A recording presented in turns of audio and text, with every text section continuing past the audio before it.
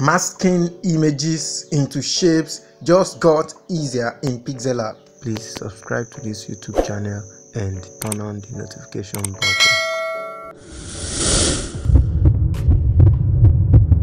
Step 1. Open your Pixellab app.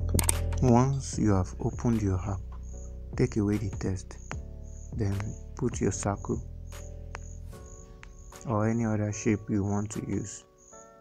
Once you've set your circle, go to shape again, create something like a rectangle so that the head you want to shoot out will be at that portion.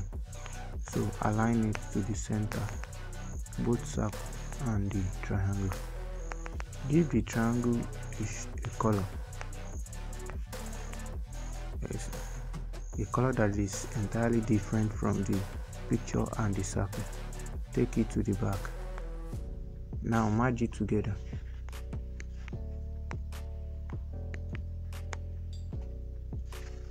After merging it together you can now go to texture. Pick the picture and use something very close to the body this is what you are going to have. Now it is not finished. You have to go to erase color here.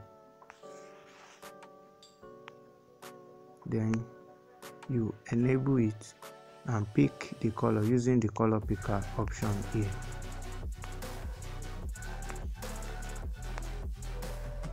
Now you can now smoothen the edges and increase the tolerance a bit